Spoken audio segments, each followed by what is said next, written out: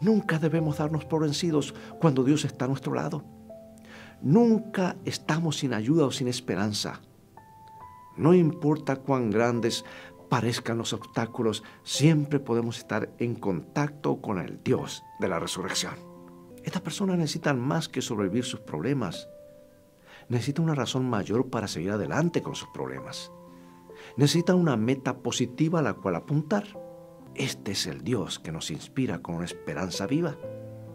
Y nosotros debemos inspirar a los desesperados a nuestro alrededor con esta esperanza. Amigo y amiga, nuestra fe en el Salvador, en Jesucristo, es la más poderosa razón para vivir. Él conoce cada individuo. Y espero que cada uno de nosotros tengamos esa clase de fe hoy.